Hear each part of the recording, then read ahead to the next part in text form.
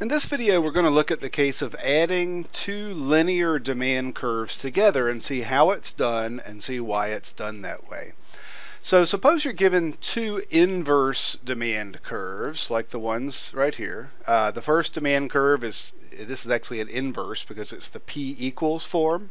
But P equals 10 minus 2Q. Let's just graph that real quickly here. The y-intercept is 10 on the P axis and it goes down at, with a slope of minus 2 so it's going to intersect the uh, q-axis at 5 and then the second demand curve say for a different segment of the economy is 5 p equals 5 minus q for the inverse demand. So let's graph that. The y-intercept will be at 5 and it will go down at a slope of minus 1 and so it will also hit the q-axis at 5. Okay, so let me color that differently here. Uh, okay, bright blue.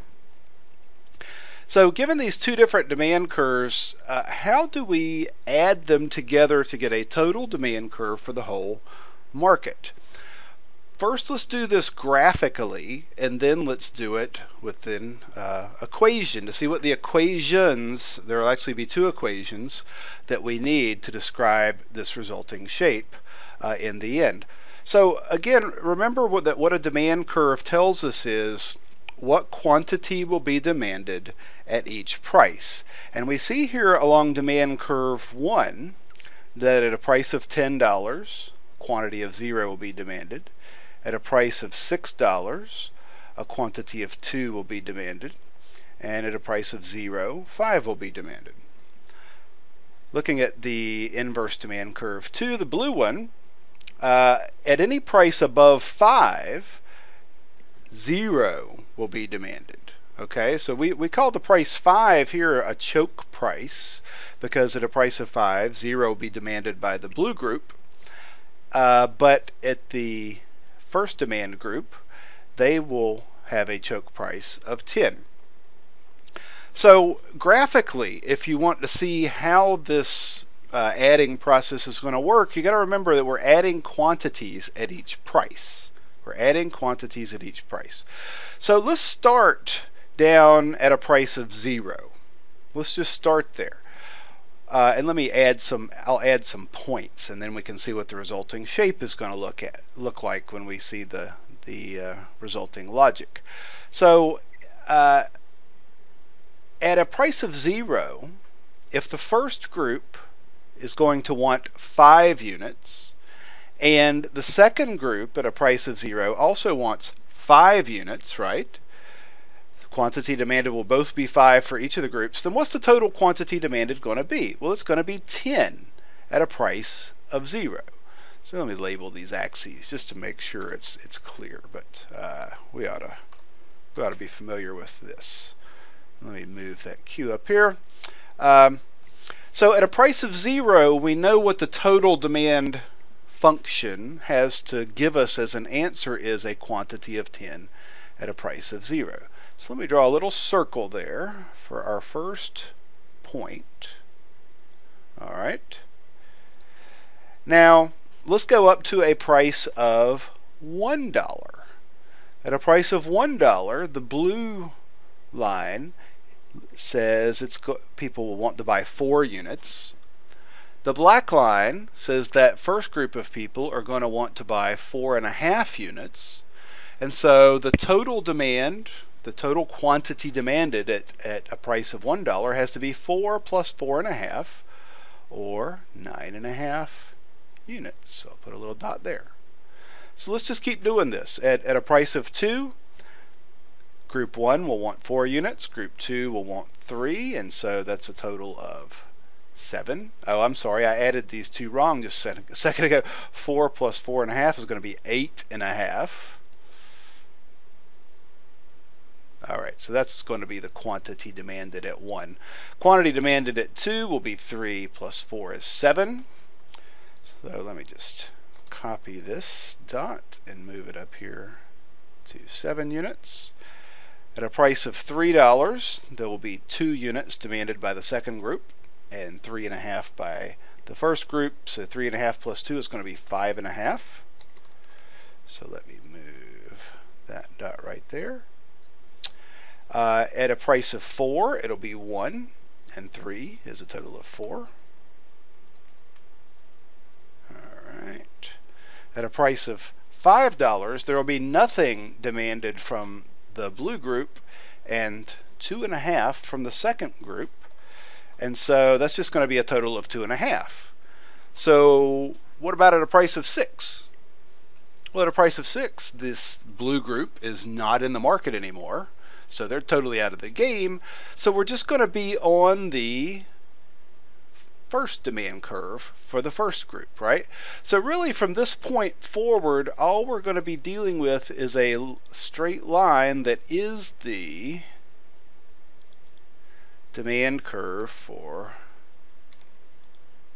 the top group. And let, so let me draw a line through those other points as well.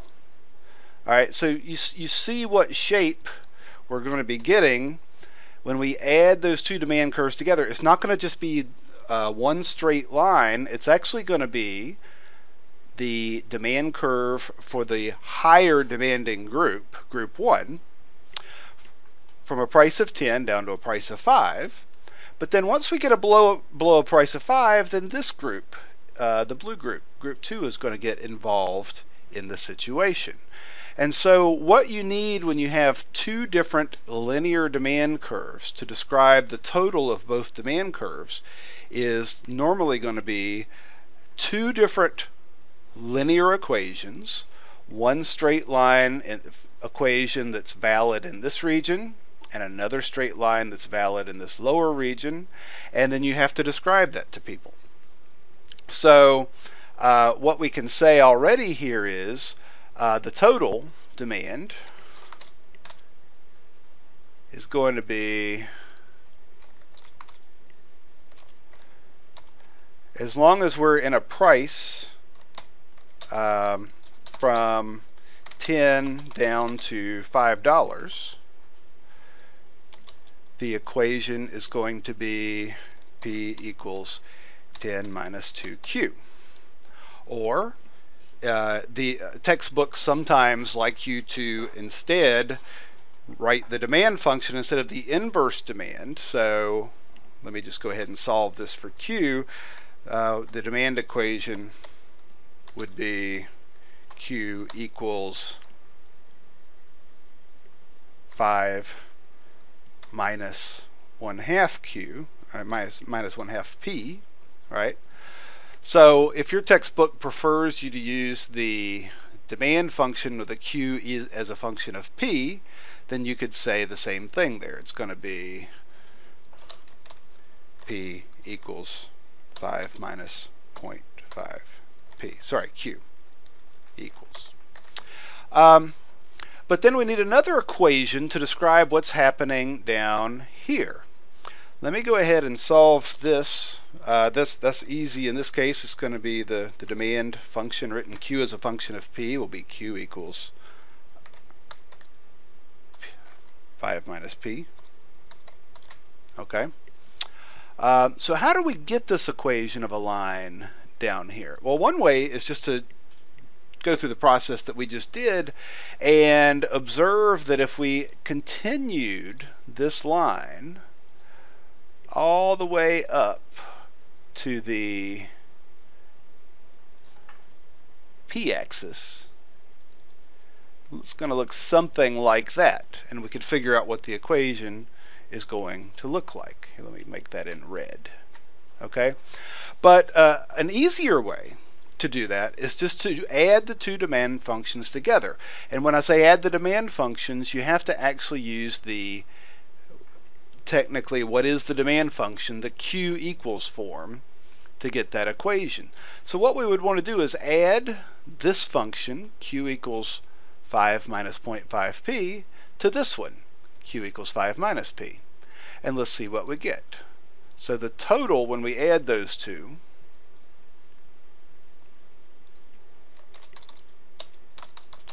add those two together, we're going to get that Q equals we're not adding the Q's together, we're adding, you know, what is the Q on the right side. So 5 and 5 is 10.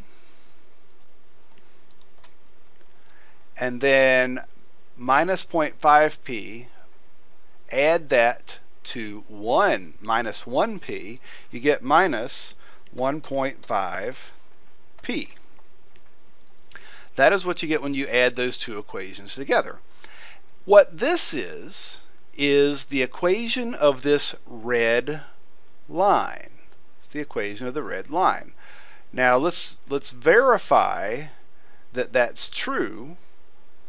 Let's solve this because it's it's easier to graph the inverse of that. So let's solve this for p. And what you get is uh, p equals 6.66666. I'll just round this off to um, 6.67 minus 0.666666 times q. And that's that red line. You see the y-intercept on the p-axis there is a little bit less than 7, so 6.67. And then the, the slope is down 6.67 over 10 over the entire course of that red line. And so that's the right equation when you just add the right sides of those together. You get the total Q for two markets. And so what, what we're saying here is to get the bottom part of this equation, when the price is less than 5, that's how, how you can get that bottom part of that equation. Add the two equations together when they're written as Q equals.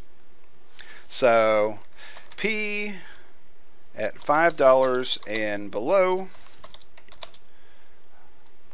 the demand function is going to be Q equals 6 point, sorry, Q equals 10 minus 1.5 times P, or if your textbook prefers you, or if you need to write it the other way, just solve that for P and you get the 6.67 minus 0.667 times q. So that's how you add two linear demand functions together.